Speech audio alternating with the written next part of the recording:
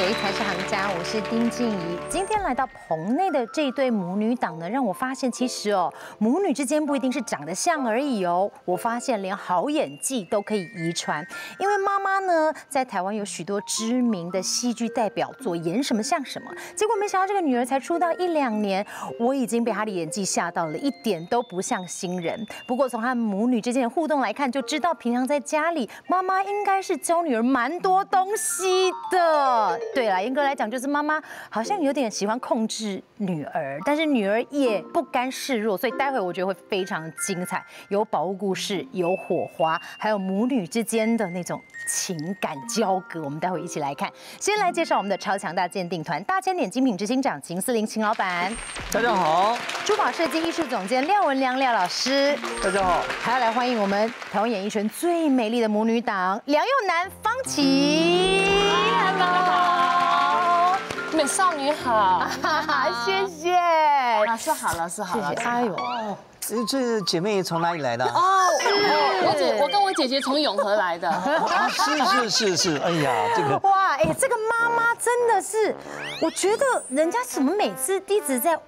诬陷幼男姐有控制狂，根本没有，我真的没有，不是，我真的你说话。姐姐，你来我们家住，不要说一个月，你三天你就可以知道什么是控制狂，真的吗？真的是，你就知道他多会控制人。你看，你看，现在是他推我，他一直控制我，有那种肢体的那个肢体的之间，你们有点肢体交流了，好痛，他真的 要打架吗？再见。他就是因为你知道他是演员，他是资深演员，所以他在外面要做的很好。你是资深。演员，你是资深演员，所以他外面就是演的也还不错，这样子。你知道他们两位哦，因为刚刚我们还没有开昂的时候，他们两位那个火花就非常激荡。我们那时候就是讲说，哎呦南姐啊，我们动口不动手。后来我发现没有，女儿就一直哎，一直抓，有没有？我在抓他的手，他刚刚速度已经要这样子，就可以看出，其实啦，我说实在，你们两个在家。那个互动是很好的。你说吵架的互动还是打架的互动？应该都有肢体啦，还有那种口语上的。我相信你们其实平常感情是很好的啦。我自因为我自己有两个女儿，我自己有两个女儿，所以我懂那种如果女儿有点怕妈妈或者是不敢这样硬脆硬接，对吧？跟你讲，我女儿是不敢这样跟我讲话的。没有，我跟你说，我是在外面敢讲，我在家不敢讲，因为我知道在外面我尽量跟他说一些道理的时候，当靠山讲更多。在外面的时候，他不敢，就是他让他固有形象，所以他不敢回回我骂我干嘛。可是在家里面我就不敢讲，因为在家里面没有其他人看的时候，他就是我骂我，我只要跟他说一句说妈妈，我觉得你这样子不太好，他就说哦四五句回来说我是妈妈，你怎么可以指责我？我觉得今天会有很多的爆料，跟很多的一些情况需要让两位爸爸们哈，就是那种局外人来看看到底谁说。的比较有理。我回到家我会很喜欢，我是那种每天我到现在我已经二十七岁，我都还是可以每天回家，就是我说我想要抱一下爸爸妈妈那种。可是妈妈就是那种，我只要一靠近她，我会是这样碰到她一下，哎，不要碰到我。几岁了还碰到我旁边，那就表示她靠过来，我老公必须离开啊。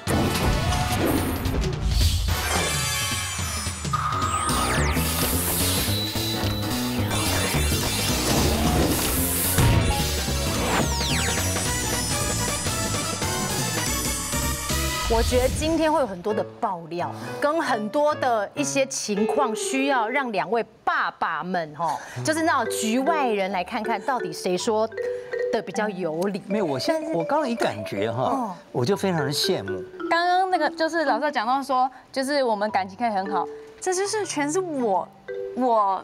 你的功劳，我的功，这是我的功劳，因为我真的 没有，因为我没教好，你才会这样讲。我就是那一种，我回到家我会很喜欢，我是那种每天我到现在我已经二十七岁，就是一定要透露你二十七岁，我都还是可以每天回家，就是我说我想要抱一下爸爸妈妈那种。可是妈妈就是那种，我只要一靠近她，我会是这样碰到她一下，哎，不要碰到我。我我曾经有尝试，她在睡觉的时候，我过去跟她一起睡，我才刚碰到她，又难解，什么？几岁了还碰到我旁边，那就。表示他靠过来，我老公必须离开啊！你不生气吗？你不生气吗？你老公还没来，我怕你冷，我去陪你睡好不好？啊，我这么热的天气，我没冷气睡已经热死了，你还要抱我？哎，我我说实在，用来，因为我二十七岁的时候刚当妈，就是刚结婚刚当妈，我真的想不起来我跟我妈这样子很 close 的抱她的那种是什么时候，我还蛮羡慕你的。我随时都可以抱。你要知足，棒，这对母女要知好，足。我委屈一点，我委屈一你们点。知道我现在，我跟你讲，这边有一个女儿奴，这个爱女儿爱到不行。我跟你讲，我到我现在跟我女儿出门哈，我们都是十指紧扣。其实呢，佑兰跟方琦两个人，我要做一个见证。是他们现在呢，虽然说火药味很强，这个完全都是为了效果啦。我跟你讲，去年的十一月份呢，因为我我们那个福伦社呢赞助了伯利欧家园的一个路跑活动，一大早，我们几点到那边啊？四点五十，四点五十在那个地方哦，又男啊，这是女儿，佑兰跟女儿那么早就来了。你知道我们从台北要几点就开车下去啊？对不对真？的真的，我们前一天就下去了。你前一天就下去，我那一天晚上呢，两点半我就出发，就到那边就看见佑兰跟女儿还有陈子强，对对对对对，大大家都到了。这个路跑活动，哎，天都还没有亮哎。真的有拍到。天都还没有亮哎，真的。但是你看母女两个感情那么好，哪一个女儿会陪妈妈一大早去外面跑路跑的？两个还真的下去跑哎。老师，我跟你讲，这就是他不懂事的地方。哈，因为那是我人生第一次路跑，而且我年过五十才参加这种马拉松，因为我后来才开始喜欢运动的。那他跟爸爸已经在家，就是他们每天这样去跑，已经好几年了。对，我第一次哎，他们一直引引诱我，百般的引诱我，叫我去运动，我都不要。跟我这一次是因为是公益嘛，我就去。他既然这么有心，他为什么还要引我呢？他不能给我一点面子吗？这个妈妈不喜欢输的感觉耶。你可以赔，不可以赢。因为我还没出发，记者就问我说：“佑楠姐，七公里，你大概多久回来？”嗯，我也不知道。我说。对不起，你可以给我一个半小时，我一定回来，我一定回来。嗯然后记者就说一个半小时，七点开始跑，好吧，那我等你。嗯我心里在想，阿弥陀佛了，我希望一个半小时真的可以回得来。嗯然后呢，主办单位就很无聊，跑来我耳朵旁边跟我 murmur 说，梁浩南。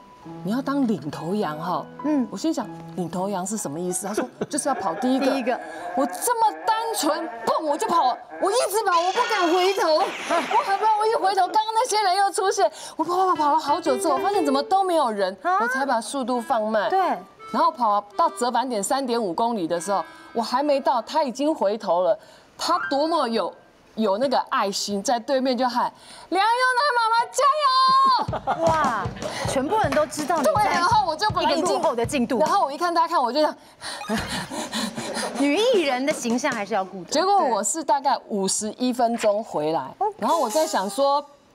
没关系，反正就已经回来了。嗯可他真的超有心的，他跑完就是呃报道之后，缴完那个晶片之后，他就说他要回去门口等。那爸爸也回来了嘛，爸爸就说：“哎呀，你马上半个小时以后才会回来。”但他就不理爸爸，他就出去。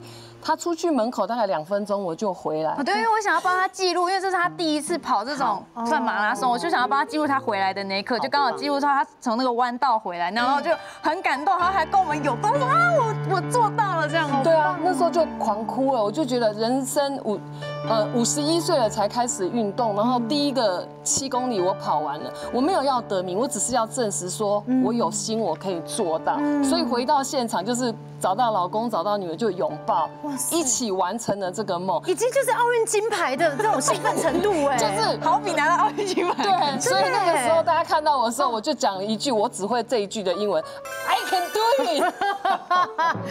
但是那种母女的感情表露无遗，对不对？好，所以你看看今天这对那么可爱的母女来，我也很好奇，这么多琳琅满目，有表啊，有项链，到底是谁的东西？我们一件件慢慢讲，然后边让你们好好的来聊一下你们之间的宝物故事还有母女的故事。因为第一件宝贝，我觉得看起来蛮古朴的，不太像是女儿的东西。对，这个这个东西，这个大有文章哦。大家看到这个，他年纪比你我都大，嗯，呃，我公公当年要从河南逃出来的时候，他妈妈手上拔下来给他的。哦，那我不知道它值不值钱，但是这对我们来说有点像变相的传家宝。嗯，然后公公那时候当然就送给婆婆嘛，然后我婆婆那时候哎就给我了，三个媳妇她也只有给我，是是是，就是说算是一个代表家里的传承，对不对？而且你们家有三个媳妇儿，就是她只留给你，对。哇，那你在你婆婆的心目中那分量很高啊！因为其他人拿金嘛啦，所以我就拿这个。是 是是，所以这一点就又不公平了，对不对？没关系，因为我拍古装戏，这个用得到啊。我飞龙在天的时候带这个，好多人问我在哪买的。哦，是这个这个是一个呃漆器，嗯，它是一个木雕的这个手镯，是，但是它是上漆，嗯，啊，所以它是一种漆器。呃，一般而言的话，它是一种，呃，就是呃，嗯，有一些节庆的时候才戴的，就它拿来拍戏也可以戴。嗯，是拍戏戴，我觉得也还蛮蛮能够搭配的哈。对啊，很古装戏，然后我又是一个那个。有钱人家的那个夫人，然后我想说戴着还蛮漂亮。对呀，而且又是等于是就像你讲的是一个传家宝，对的概念，所以要好好的留着，是，对不对？那请问一下，你公公从大陆河南来嘛？哈，他是怎么来的？搭飞机来的？坐船来的？坐船，坐船来的哈。那他他来的时候是呃带了很多的金条吗？没有哎，都没有啊。他是逃难来的吧？对，他是算逃过来的，可是他的家人没有过来，只有他自己过来。哎，那那这段历史是婆婆告诉你的哈？公公说的。哦，公公说的哦，是是是，哦，这个这个常常有一些呃，就是老的外省的呃，这个爷爷哈，都会讲一些故事，那这些故事的这个真实性都不高。怎么说呢？没关系，我婆婆不在，她不会伤心。她也没有杜撰什么了。不是，怎么说呢？哈，他第一啊，因为你想想看啊，一个年轻人哈，他这个跑到一个陌生的地方，甚至他不知道要去哪里。对。啊，比如他母亲给他两个镯子，他戴着，这个镯子很快就断了，或者就不见了。嗯哼。为什么呢？因为这个很脆弱，对不对？很脆弱，你放哪儿呢？没地方放。对不对？你只身寡人，你去逃难，你不可能拿一个保险箱嘛？对对。对哎，所以，所以他留存的机会不大。二点，我觉得他没那么老。啊？没那么老？嗯，他没那么老。我我觉得他年纪不会比爷爷大。嗯。我的看法哦，我的看法。所以，但是它是一个雕花的中国古典的木手镯，这是真的。啊，这是确定。那爷爷为什么这么讲呢？他有可能哈，呃，要跟奶奶说，你是唯一的，你是很重要的。你看我那我娘啊，要出门的时候，我娘送给我的，我都送给你了啊。事实上哈，从大陆逃出来哈，什么也没带，那全凭一张嘴，老婆都是骗来的。哦，终于揭开这个世纪谜底。所以，所以，嗯。感觉上，嗯，不是老见，但是那奶奶听了以后，哎，她也认真了，啊，她也认真了。那她把黄金的手镯给了你的嫂嫂妯娌，对不对？对对。她没了，她就给你给你木头的，啊，木头也安慰你啊。哎呦，这是传家宝哈，就有这个就代表这个是这个呃衣钵传人啊，啊，你也开心了，对不对？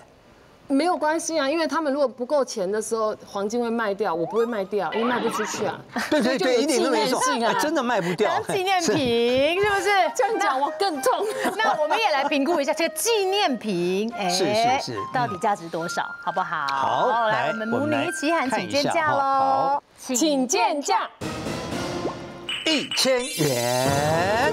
讲，你是说什么币？台币？两个台币哈，台币哦。这个其实哈，这个算是一个艺品。你不用做，不用做效果哎，你跟我讲一千元，怎么可能呢？哦，但你出了这门，没有人保证。哦，生命有危险是吧？我没有说这种话，我没有。对他可以说，对对我是是。哎，这个没有。又来，那个情绪稍微和缓一下。你是我心仪的对象，你知道吗？拍这一张照片我多么珍贵啊！你知道？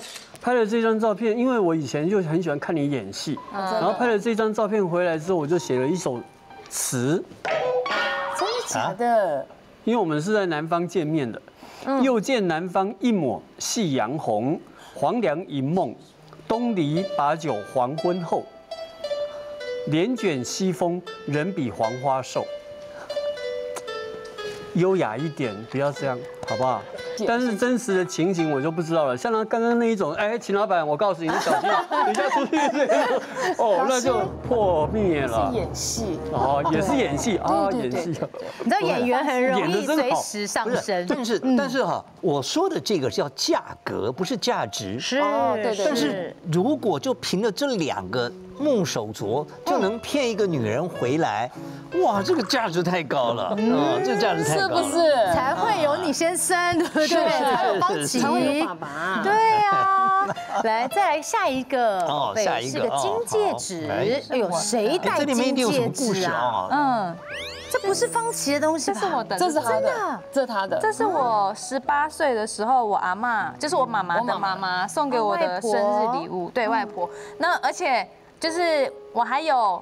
呃，其他的兄弟姐妹，但是只有我有这个戒指。那单指我们家来讲，我还有哥哥跟弟弟，但是从小阿妈就是最疼我。嗯，可能我觉得阿妈看得出来，妈妈她这个人比较重重男轻女一点，所以呢，阿妈小时候觉得我比较可怜，阿妈小时候就对我很好。然后这个戒指就是阿妈她偷偷去打打这个戒指给我，然后跟我讲说：“琪琪啊，十八岁生日就是只有你有啊，你要好好的收好，哥哥都没有啊，这是阿妈就是送给你的祝福，希望你要平安长。”其实这有一个那个，我不想讲，会有点酸酸的，就是老人家，哎，送这个时候我妈妈还没有失智，我妈现在失智，那时候我妈妈送她这个时候，我妈妈就讲了一句话说，哎，以后你结婚哦，阿妈可能看不到啦，所以就先送你一个这个这样子。哦好感人，祝福你以后会很幸福，然后平安健康长大。妈妈那时候讲这种话的时候，其实我现在想起来是酸的。嗯，是。他当然可以啊，他可以看到他结婚，可以看到他生小孩。可是妈妈那时候就就是怕这些。可是像现在妈妈失智，我记得有一段时间我妈忘记我是谁，我哭到不行。嗯。然后我就一直说琪琪，那你跟阿妈讲话，看阿妈认不认得你。对。那阿妈是一下认得她，一下不认得她，就她也哭。后来我记得那一天，呃，就是事后我们再去看我妈妈的时候，她就突然跟我妈妈讲起来，说：“阿妈，你以前有送我一个戒指。”对。然后我妈妈突然回过神来，问她说：“你怕不？” 他说：“没有没有，我知道跟你说那个戒指很漂亮。”然后就我妈妈那一刹那还有正常，所以。刚讲到这个时候，我就突然想到那个画面，就是有点。所以说，你看美好的时间哈，它不会停留，对不对哈？但你像阿妈，她就有先见之明，她认为说啊，有一天呃孙女要结婚了，恐怕她不能参加哦，她有这个想法，或者是说啊，她真的哎身体上面可能有些问题。不过呢，如果我们去给她提醒一下，她可能就会哎。就会突然想起来，对不对？然后阿妈送你的是金戒指，对不对？对。其实哈，中国的女性，尤其是传统的哈，大部分都是重男轻女。那能够重女轻男，就表示读过书的人。可能也是因为阿妈从从小就看我长大，就知道妈妈已经重男轻女，她觉得这那个长得孙修可怜呐，每当跟好利安呢，所以她才对我补偿你。对对。幼男姐要不要帮自己澄清一下，真的有重男轻女吗？重重的爱他，轻轻的爱男生。重重的打。因为我只有一个女儿，我当然是把最好的给她，然后对她也是付出最多心力啊。嗯。对不对？你看现在全身都我出钱的，哪一样是你出钱？没有嘛。哦，哥哥弟弟又自己赚的。金钱，他在妈妈在金钱方面对三个人都很好，但是在那种爱的部分，他就是很明显有精神上落差。对，精神上，我就举个例子，就我之前也有在别的节目上面讲过，就是呃，弟弟去当兵的时候，妈妈她就是。没有办法送弟弟去，因为妈妈那天要上班，妈妈那天要工作，那就是我跟爸爸送弟弟去去集合。嗯，然后妈妈从头到尾跟我用手机连线，就跟我说弟弟现在怎样，他现在到哪边了？那你可不可以拍一张照传给我看？然后我拍一张弟弟就是你理光头的照片，在那边跟人家集合，准备要上车去搭去那个营队。对，妈他打电话跟我说。琪琪，知道吗？我现在休息时间，我躲在角落，我一直哭，我没有办法去送弟弟，我我觉得很愧疚啊！而且重点是弟弟不是当一年兵，弟弟是当四个月的兵，然后妈妈她在哭，这到底有什么好哭的？我不懂。哎，你不能这样讲。这现在已经哭了，他已经退伍了吧？我跟你们说，退伍了。他到前心，他到前几天，我跟爸爸刚刚我们讲到这件事情的时候，他还又哭，讲到他就说，我看着我的儿子这样理个光头，我好心疼呢。你的光头有什么心疼的？那不理你理呀，我 OK 啊，可是我没有要当兵啊，那就对了。所以说，方琦，如果你去当兵，他也会这样。我一定也会，他一定会哭，因为没有人帮他做家事。原原来是怕没有人宠他。哎，可是为什么你你现在讲到这边又会难过啊？哈，为什么？因为他最小嘛，然后他也从来没有说离开我身边这么久。你说毕业旅行或者是出去玩了不起，五天。一一个礼拜就回来，可是他那一去新生训练好像是第一次是一个月左右才能够回来。对，你知道他哎去当兵的第二天还第三天，我在拍戏，然后放饭的时候，我手机响，然后是没有号码，嗯，我心里就在想，为什么有这样子的一个电话？嗯，我还是接了，我一接起来我说喂，就咚，公用电话的声音，他就说喂，妈妈，嗯，是我，我说弟弟。然后我就哭了，我说你在哪里？那个画面堪比连续剧。让我最想要走这个行业的一个最重要的点，就是因为我们家管的很严格。那我就觉得当演员这条路，就是你好像可以去体验别人的人生。他的那个控制欲的那个起手式，就是我怀他十个月，妈，我不是早产儿，你当然是足月，实在不好生下。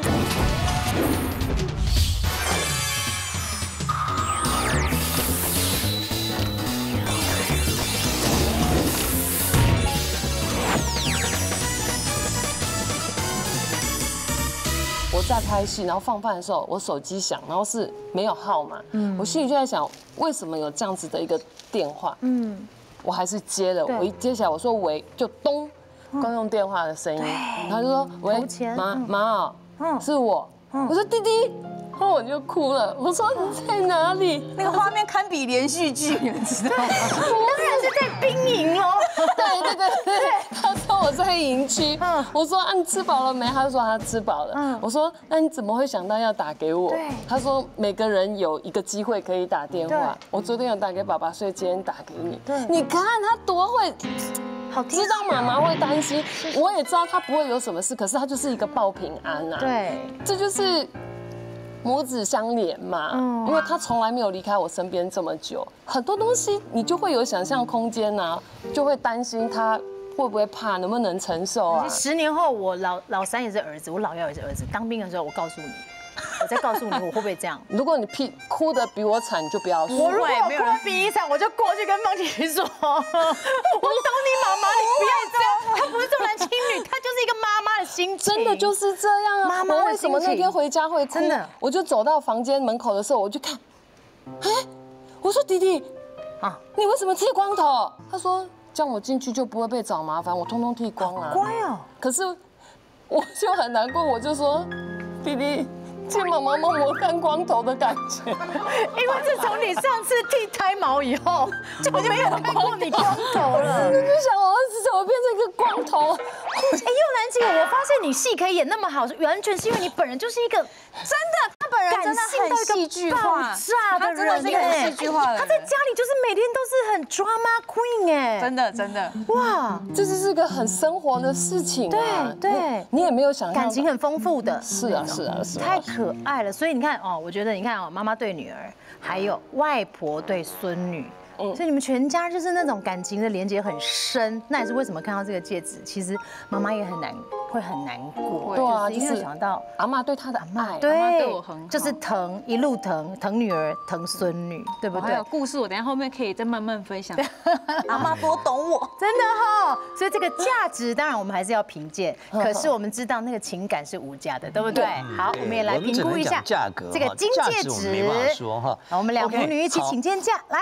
请见价一万四千元。哇，你看是真金，你看这个戒指哈是纯金的，大概是两钱哦，两钱的镜子，大概现在市价应该是在一万四千元哦，但是价值就不一定了哈，因为阿妈送给你的哈，呃，它代表的一份爱。那这个没办法评估啊。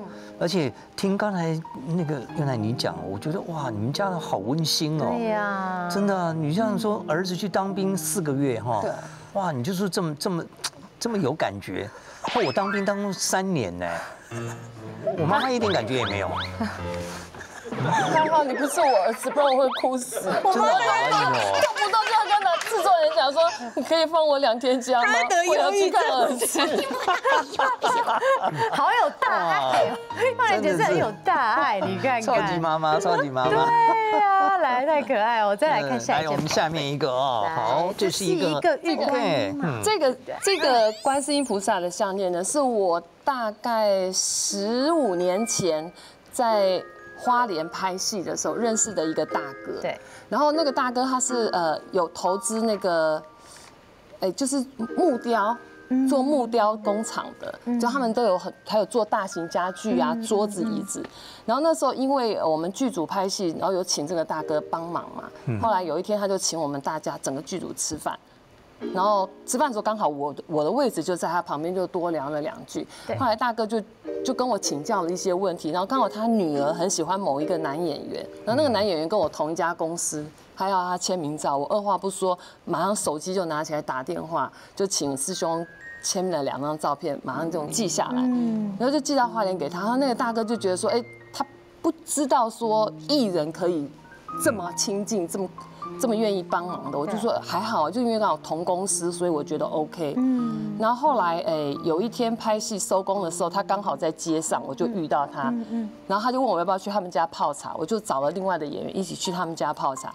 后来就觉得我很善良、很可爱的一个女生，平易近人。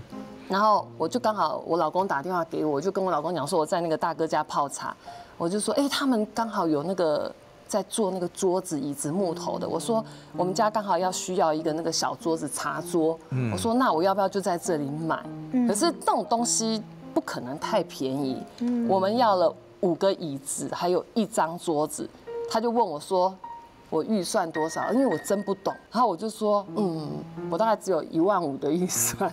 哦，很不是行情的话，因为我不懂。然后他就说好，那就一万五，我帮你。那个车子送到台北，运费也不止啊。对，然后我就想，这大哥怎么这么好？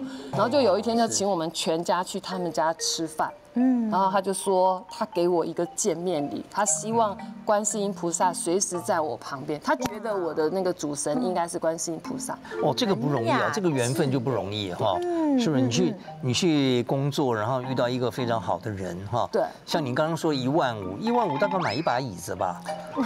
运费一万二，我老公也运费一万二三千，哇，这个是这个怎么处理？就真的就是这样一个缘分，结缘之后，所以就一直带，就一直带。对对对，因为我觉得那对我来说是一个很有意义的祝福，对不对？一个祝福，好，所以也是很有缘分的祝福。我们也来评估一下，它到底这个玉观音价值多少呢？来，请请见价，一万五千元。这是一个白翡啊，白翡，但是种水是普通，好普通啊，雕的是观世音哈，它代表的慈悲。代表了一种这个呃嗯，应该讲说是呃关爱世界哈，就保佑你哎能够平安喜乐，非常好哦。对啊，他就说我自己在外面拍戏，有时候奔波，他希望观世菩萨就这样一直保护我。嗯嗯嗯，这个没问题的，那我我看得出来。对啊，哎说实在演员也很辛苦哎，你知道，我觉得方琦你从小。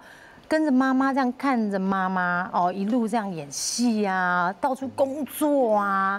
但是我比较意外的是，你居然也愿意要继承衣钵，跟妈妈走同行。你不会觉得小时候看到妈妈这样子很辛苦吗？你不会觉得很辛苦？因为我觉得说真的，我觉得辛苦是各个行业都会有各个行业的辛苦。那我只是刚好看到就是这个行业的辛苦，然后再来就是我觉得我最呃让我最想要走这个行业的一个最重要的点，就是因为。大家应该听得出来，我们家管的很严格，从小爸爸妈妈就让我就是在很严格的环境下生长，所以我有很多事情是都不能做。怎么那么那么多笑声？怎么了？就很多事情都不能做。嗯，那我就觉得，当演员这条路，就是你好像可以去体验别人的人生。我真的也在演戏当中体验到很多我现实生活中不能去做的事情，例如说什么呃去飙车喝酒 之类的这种，可能跟人家去什么唱歌夜唱啊，去什么西边怎么样干嘛，就是我觉得我在戏剧中就是都有体验过，所以我觉得跟你讲，我懂你的心情。我从小我爸妈不让我外面过夜，然后呢 很多家规超严格，就是这样。所以我在二十七岁那年我就结婚了。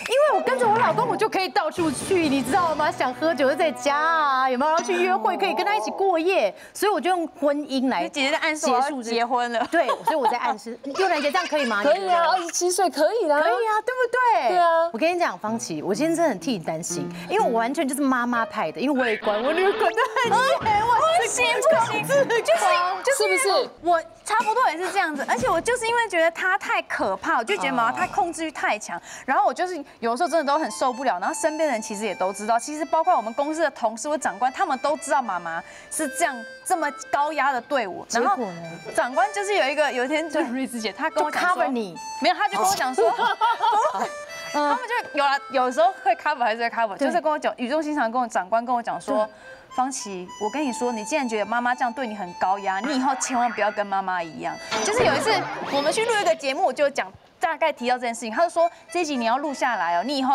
当妈妈你要拿出来看，你不要让你成为跟你妈妈一样的妈妈。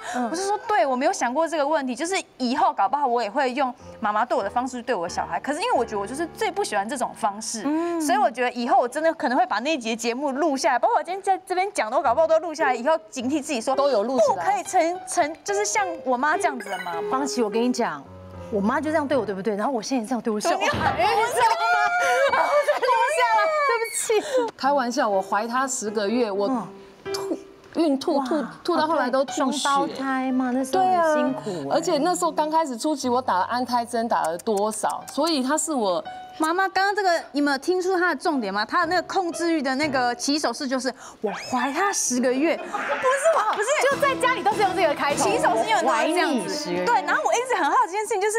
毛我不是早产儿，你当然是足月十月不好生下，你为什么一直拿这个当起手式？哦，等有一天你怀孕，你就知道整个怀孕的过程，你都要担心她的安危。我知道，我知道，真的爱的太浓烈，这这对母女真的爱的太浓烈。我先看一下宝物好不好？我看看，哎，这为什么这个有金又有银？这就不可能是方琦的了吧？啊，这个还是我的。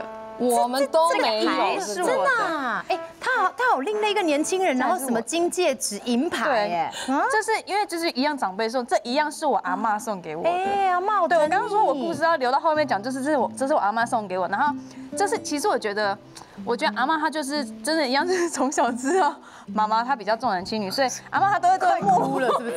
这怪哭的，不要乱加料，什么叫从小知道？嗯，然后因为我们平常。呃，阿妈在生病之前，她是住在桃园，然后我们时不时都会跟阿妈通电话。那这个龙牌是我在好像我高三的时候，前一年忘记是时间，有点忘记，反正就是总而言之，那时候新闻有报说要出这个纪念龙牌的时候，对，新闻在报，然后那时候刚好妈妈跟阿妈在讲电话，那我就是也想说也没有关系，我就看到这个，我就说，哎。妈，你看新闻在报这个龙牌好漂亮哦。然后因为我觉得，就是东方人不是都很喜欢龙凤吗？我就只是觉得这个那时候新闻在报的时候，我就觉得这个龙牌很有气势，很漂亮。我说，哎，这个龙牌很漂亮的这样。殊不知，我真的完全不知道，阿妈在电话另一头竟然有听到。对。然后阿妈去排队，隔几天他从桃园坐计程车上来送给我这个，然后。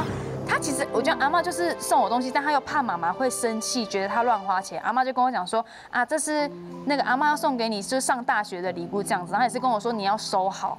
然后我就觉得，就是阿妈真的对我很好。嗯，是，这个，这我们可以想象那个场景，阿妈从那个呃桃园来，对不对？然后买了这个，而且这个是龙年的台湾银行发行的哈。嗯。那这个时候发行了两枚。一枚是银币，嗯，好，一枚是金币，嗯，是从瑞士的这个呃一个很有名的一个造币厂做出来的，哈，龙年的时候是民国一百年，嗯，都十年了，哦，那个时候你要十七岁，呃，这个这个是一个一百克的银币，银牌，也称银块了哈。呃，这个其实算是蛮贵重的礼物。为什么呢？因为像这一类的东西哈，它不是说花钱就买得到，因为它是经过时间的这个递递延哈，这个东西越来越稀有。当时它是做了十万个，现在在市面上流通的不多哦，所以这个阿妈送给你这个东西哈，随着时间会越来越增值哦啊，可见可见你阿妈真的很喜欢你。嗯，阿妈是，但是我这边也要断言了哈，呃。你以后会跟你妈妈差不多。你看看，这不是我自己买的，因为呃，我这个是我干爹送给我的。其实我觉得，哎，方宇你可以戴这表，这个很漂亮。年轻女孩子今天有来有赚，结果等下一出生，哥哥弟弟没有抢走了。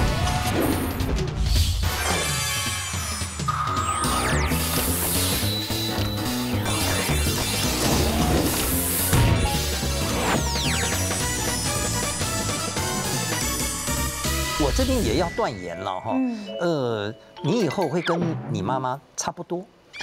你看看，这个哈，萧规曹随。你看我的经验就是这样，我今年六十几岁嘛哈，我在十几二十岁的时候，我看到我爸爸那那种言行举止哈，没有一点我看得顺眼，嗯，心里面那个打鼓哈，那种反抗，你知道吗？可是我现在。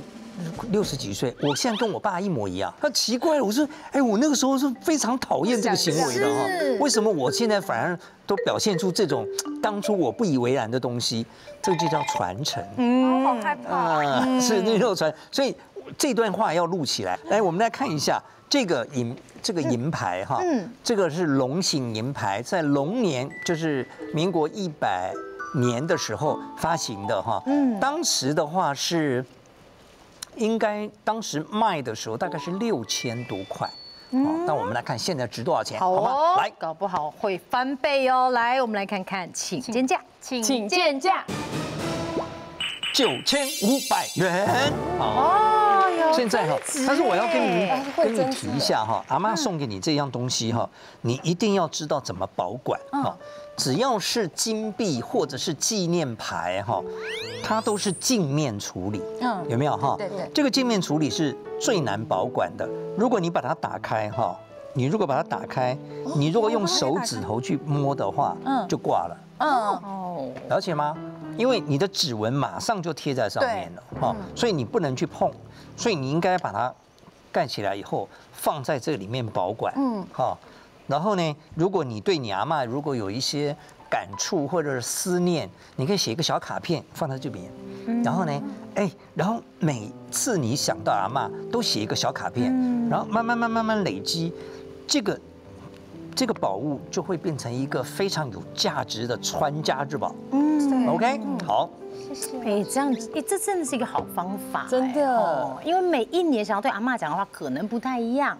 但是回以后回过头来看看的时候，就会觉得很多思念都在那里。对，而且每一张卡片是一个故事，真对。以后就是他跟阿妈的专属的回忆故事。对，也不会把阿妈当时的那个排队，然后亲自送来的那件事情忘掉。对对，不然忘掉没关系，看录影，这一集又可以翻出来看一样。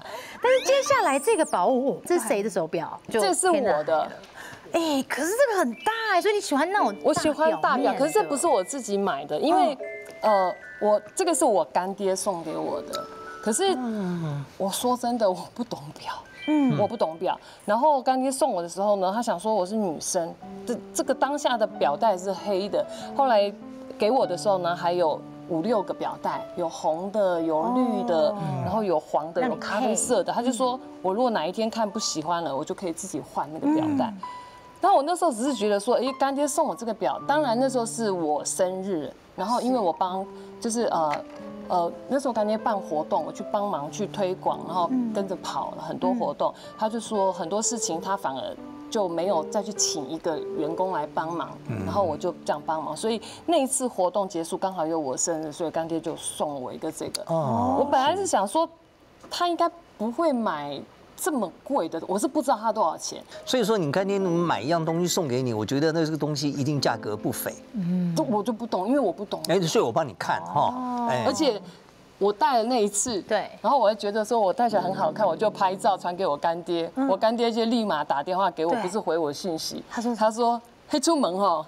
塑胶膜爱掉掉，所以我就赶快撕掉，不然我我也一直都没有撕掉。嗯。是是是，对，它旁边有一个是呃橡胶圈，对不对？新的这样子，哎，所以佑兰姐，你真的是，哎，我发现你就是那种很有义气，然后很重感情，就是我觉得我可以的就会做，就像就像现在不是大家流行挺医护对啊，啊，我看你就送了好多食物，还有防护衣，对对对，防护衣，然后还有面罩，然后对。还有那个补给品吃的，还有那大家手都皱了，我就送那个护手霜。对啊，我觉得真的是不用去比较说要多贵重，是我们有心，然后愿意花那个时间送到这个第一线人员手上，我觉得那是一种成就感。你看他们每天这么忙，然后还出来，那个脸上都是那个。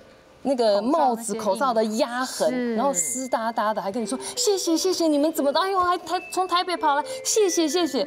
你知道那个当下，我已经不管什么要保持距离，我就过去就抱他，我说谢谢你们这么认真的努力救我们。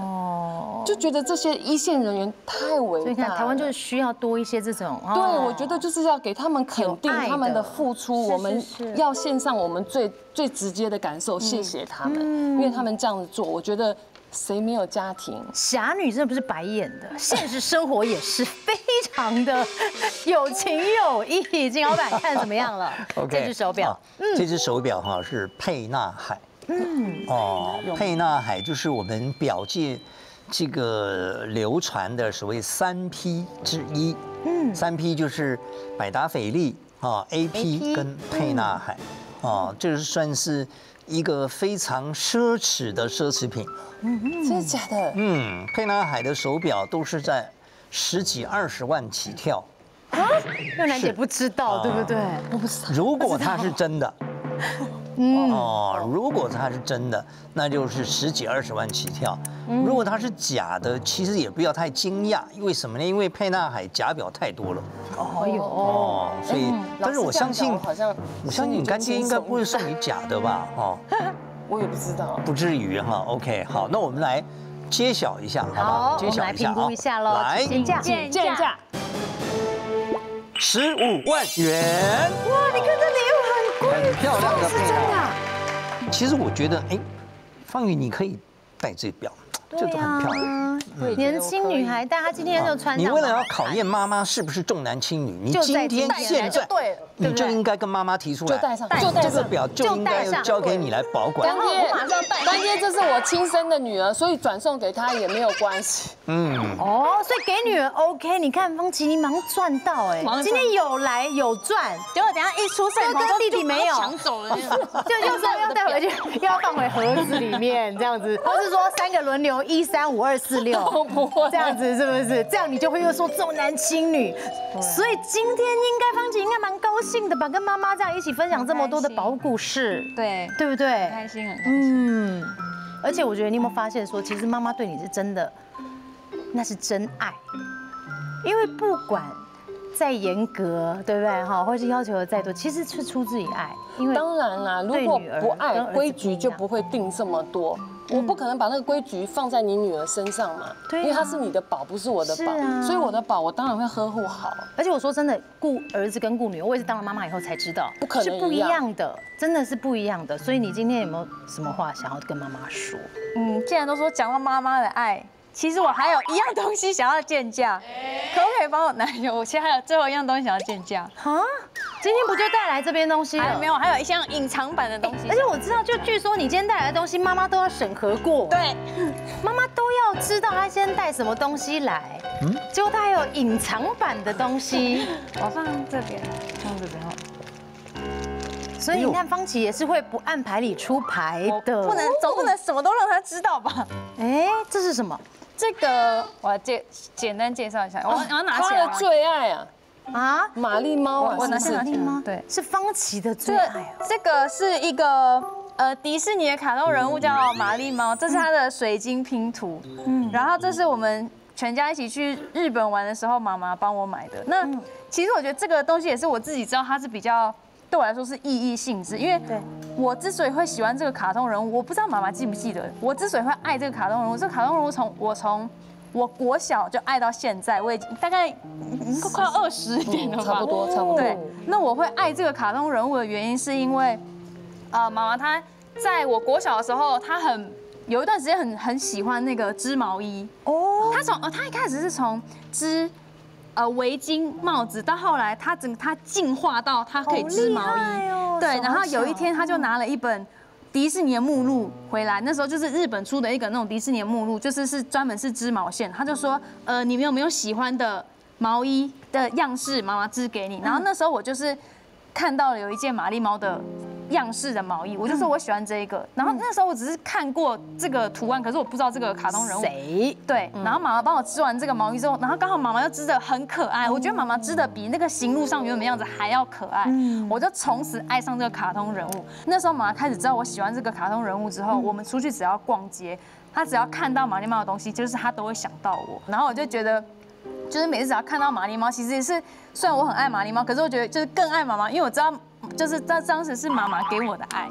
因为以前呢、啊，我帮他们织毛衣，我就想说，一般毛衣的变化就是颜色或者是样式，实在卡达 logo 上也没多少。后来他们就有自己喜欢的卡通人物的时候，我就问三个小孩你喜欢什么？你喜欢什么？他们就跟我讲，真的是这样我就觉得嘛，他应该不知道，其实我喜欢玛丽猫也是，就是真的是因为他，他可能都不知道。嗯，我真的不知道。但今天带玛丽猫来，真的可以见价吗？太们？感人了哈，这是还是可以见价的哈。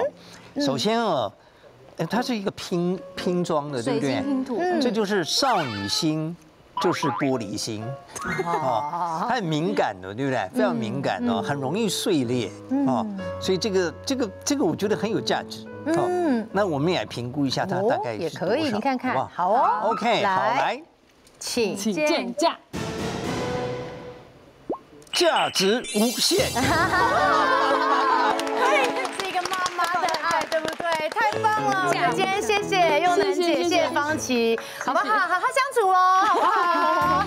记得哦，下次再来玩，谢谢，谢谢。